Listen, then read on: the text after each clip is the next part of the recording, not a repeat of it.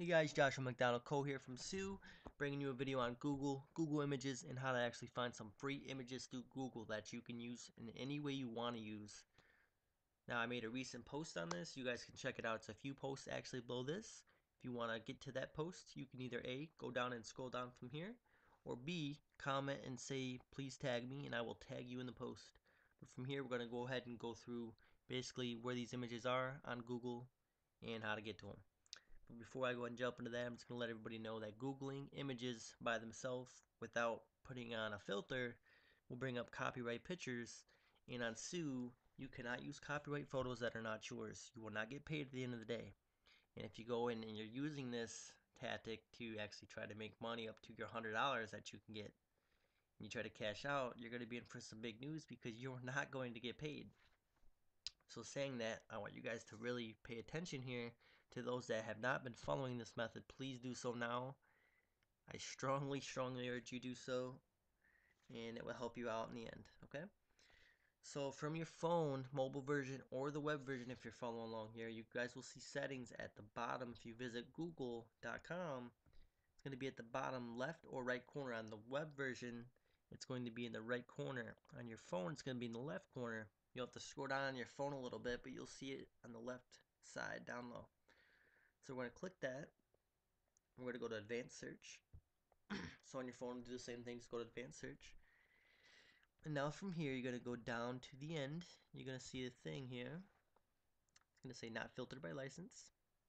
It's a drop down menu. And then from here, it's usage rights. So these are the rights on photos and what we can use and what people have marked for the rights for their photos that were put on Google. And they're put on Google by Google search engines. And I mean, as you know, the Google search engine, and they actually have site crawlers. They're like little robots that go around.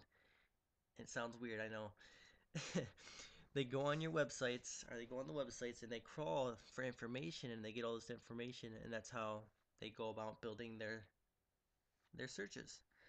So basically, we're going to go down and I'm going to recommend either A, you use free to use or share, even commercially, or B, free to use, share, or modify even commercially. I wouldn't recommend these other ones due to the fact that commercially means you can also sell these or not sell them so to speak but modify them in any kind of way and use them in any kind of way these are more for a business aspect though if you wanted to use them for business aspects which in this case we're on tsu, we're not using them for business, but we're using them in our own way and we're making something off of them. So I recommend, just to be safe, you guys use commercially. Now I use share or modify even commercially for my images due to the fact that I always edit my pictures in Photoshop as you guys can see here. It's a recent post I made. You guys can see that later. That's going to be the image with the other one. But back to, where are we here? Okay, back to the usage rights here you're going to want to make sure that you're using either A or B.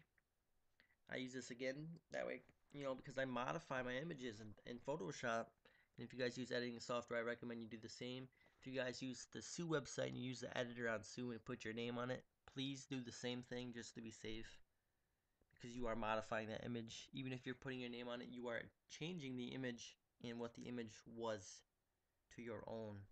Now they're free to use, so I highly recommend you use either A or B Use A here if you plan to use the image but are not going to edit it. B if you're going to edit it in any kind of way, okay? So now when you click advanced search, it will bring you to the search menu. You can search up whatever you want from here. So let's say I want to look up nature, for example. And we're going to go to images. And you can see right here, there's a drop down here labeled for reuse with modification. This is under the CC0 license 1.0. If you guys want to look up that, you can look it up in Google. It will give you the definition that you can use an image that is under this license in any kind of way that you want other than selling it as is. Which with tsu we can get away with it because we are not actually selling the image. We are posting it and sharing the image, but we are being slightly compensated for it but since it is completely free to use, it's not licensed, it's not locked to any one person. It was created by someone, but they are just giving it out for free. It is okay to use. And then from here, you can actually select other ones. From your phone, I believe it's the same. But you can use all these pictures here now and they're free to use. You can put your name on them. You can edit them in any kind of way you want. Again, if you're going to use it and not have have them edited, you're going to use the other the other way I showed you a few minutes ago. But basically, these are all at your hands. These are all from different free source websites. And it's just a lot faster, I believe, to use Google than to go looking for a certain image. So if you wanted to come and look for, you know, people laughing, for example, instead of going on a website and searching it and finding the perfect image, it's they're smaller thumbnails. There's, it's just so much easier to look and find something. And again, they're all free, so it's like it's it's a lot faster, I believe, and they're all high quality too, which they're all taken by photographers, so it's it's excellent. Excellent source, and I highly, highly recommend that everyone does this. Do not ever use Google without having this on. Again, it's to advanced search, and I will include that as a shortcut into this post. So you can click that, you'll go right to the advanced search.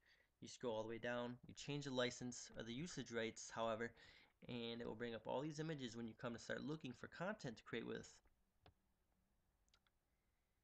That's really going to cover guys. That's the basis of how to really use Google if you want to sit and use it for content creation and finding excellent content that's free for you to use. And this usually will link and it will stick. So when you do set those settings up, they will stay. So whenever you're searching, they will actually stay on there now. So look again, like I search the people laughing, it'll automatically be there for me. Um, well, maybe not this time. Let me check here. Basically, that's how that's done. If this is not the case, then we have to go back and change it, but that's okay. Yeah, I guess we'd have to change it. But, I mean, in any case, it's not a big deal because, again, all the thumbnails, smaller pictures, you click them, it brings up the bigger picture. You can immediately download it, copy, paste it. It's not a big thing. You can also, by the way, change the file formats.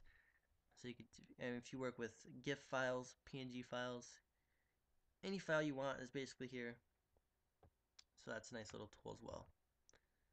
So disregard what I said, I guess, about a sticking. That doesn't work. It worked for me earlier. I guess it's not going to work for me now. But again, guys, this is Google and how to actually use it. Hope you guys enjoyed the video. I'll see you guys next time.